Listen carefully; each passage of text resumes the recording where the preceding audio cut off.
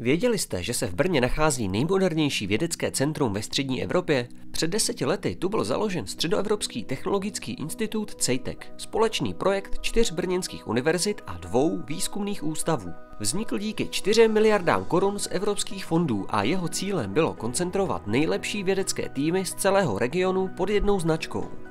Vyřešili jsme strukturu několika bakteriálních virů, bakteriofágů. Toto jsou hodné viry, které nám mohou pomoci s bojem proti bakteriím, které jsou rezistentní vůči antibiotikům. Zmapovali sme tiež štruktúru vírusu kliešťovej encefalitídy a to, ako sa naň viažu protilátky, ktoré ho následne zničia, alebo tiež štruktúry mnohých vírusov spôsobujúcich kolapsy včelstiev po celom svete.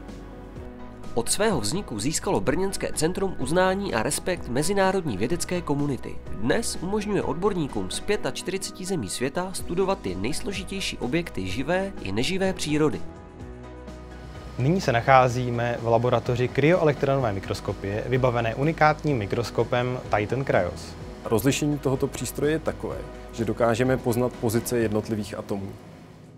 Tento mikroskop v ceně 140 milionů korun vědcům umožňuje důkladně proskoumat dosud neznámé struktury virů a provádět nejpodrobnější analýzu z biologického hlediska. Pomocou unikátnej metódy, ako je kryoelektronová mikroskopia a tomografia, dokážeme študovať procesy, ktoré umožňujú vírusom infikovať svoju hostiteľskú buňku.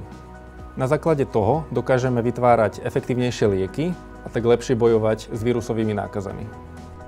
Díky evropskému programu Horizont 2020 si vědci mohou dovolit dělat skutečně kvalitní výzkum a přilákat do svého týmu talentované odborníky z celého světa.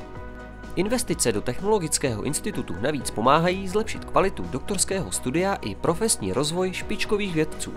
Jejich výsledky jsou fascinující, jak jsme slyšeli hned v úvodu.